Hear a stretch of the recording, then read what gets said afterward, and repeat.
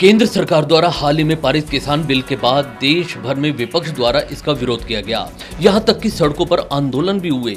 इसके लिए भाजपा द्वारा इस बिल से किसानों को क्या लाभ मिलने वाला है और किसान के हाथ इससे और मज़बूत होंगे, इन बातों को अब किसानों तक पहुँचाने का प्रयास किया जा रहा है।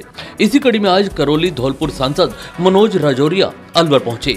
यहाँ उन्होंने पत्रकार वार्ता में किसान बिल का ज़िक्र करते हुए कहा, किसानों को भ्रमित किया गया है, जबकि यह बिल हर तरह से किसानों के लिए फ़ायदेमंद है। इससे किसान मज़बूत होगा। इसके लिए मंडी के द्वार भी खुले हैं और वो चाहे तो बाहर भी कहीं अपनी फ़सल बेच सकते हैं।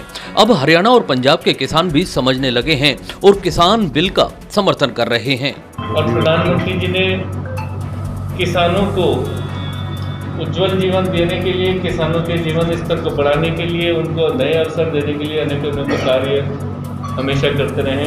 उसी के कड़ी में प्रधानमंत्री जी ने पिछले संसद सत्र के दौरान कुछ महत्वपूर्ण बिल पास करे, जो कि पहले जून के अंदर जो ऑर्डिनेंस के माध्यम से जो लागू किए गए थे।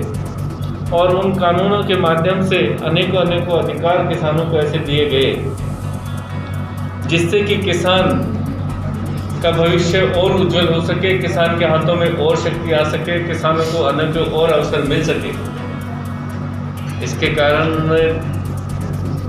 संशोधन किए बिल कानून लेके आए और उसका मुख्य उद्देश्य था कि किसानों के दोनों हाथों में शक्ति हो। किसान जो अपनी फ़सल करता है, फ़सल को बेचने के लिए अपनी मंडी के अंदर विवश होता है राजौरिया ने इस दौरान राजस्थान में लगातार बढ़ रहे अपराधों पर गहलोत सरकार पर निशाना साधा। उन्होंने कहा कि करौली के सपोटरा में जिस तरह एक पुजारी को जलाकर मार डाला, उसके अभी तक सिर्फ़ दो आरोपियों को पुलिस गिरफ़्तार कर पाई है, जबकि अन्य आरोपी जो भी हैं, उन्हें तुरंत गिरफ़्तार किया जाना चाहिए।